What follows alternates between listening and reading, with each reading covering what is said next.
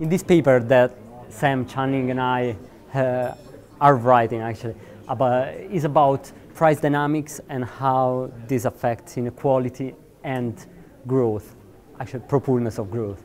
So we start from the fact, from the observation that is not new that actually specific income groups face different price dynamics.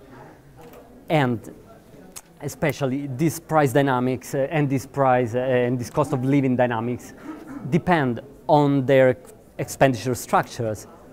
And so this deflator is usually not the same as the CPI because the CPI has been shown by uh, Angus Deaton and others is uh, usually reflects the expenditure structures of richer people and usually urban households.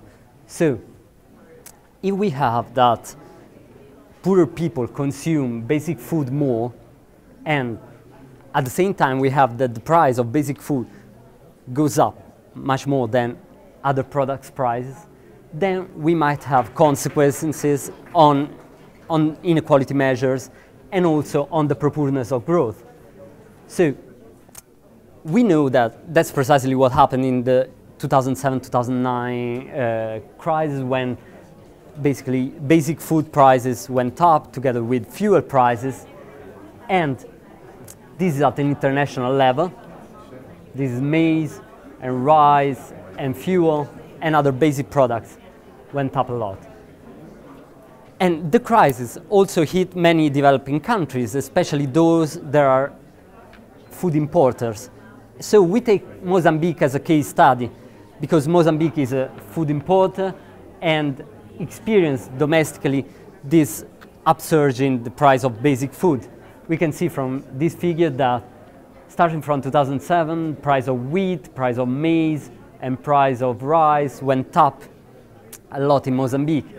Now, we decided then to understand better how these price dynamics affected inequality and inequality measures. So uh, we divided all consumed products into three categories, mainly, uh, well, namely non-food, basic food, and non-basic food, let's say. We call them core food, which is most important, most important food, accounting for like 75% of consumption, and uh, non-core food.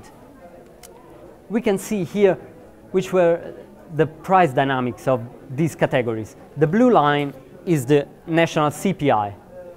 The red line is non-food. The purple line is instead non-core food, and the green line is core food.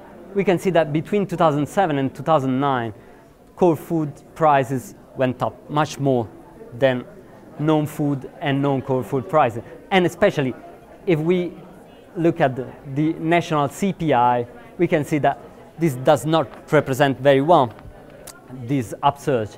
So we decided to, to build, uh, to, to see whether different percentiles, different income percentiles experience different, uh, different inflation rates. And that's precisely, that's precisely what, what we found, that like lower and middle income percentile groups, they experience a, a, rate of inflation around 190, but the richest percentiles in Mozambique experienced a much lower inflation rate, especially the richest ones.